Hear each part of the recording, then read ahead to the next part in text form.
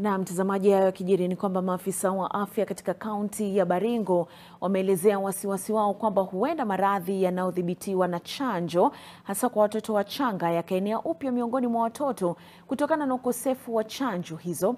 Na chanjo za polio na pepopunda ambazo zimekosekana kwa wiki mbili hasa inahitajika kwa dharura. Na aidha, chanjo za kifua kikuu na homa ya njano zinaelekea kuisha huku serikali ikisema kwamba dawa hizo zitafika mwezi ujao. If we don't get these vaccines for a long time, then uh, basically those uh, diseases may like come back to our community. So that is our main worry now. But we trust that as the national government has promised, we'll get these vaccines by the by mid next month. So as I said, we are now redistributing what we have. In fact, right now we are waiting for TD vaccine and oral polio vaccine from Tiati to our Baringo County referral because this facility has really run short of the two vaccines.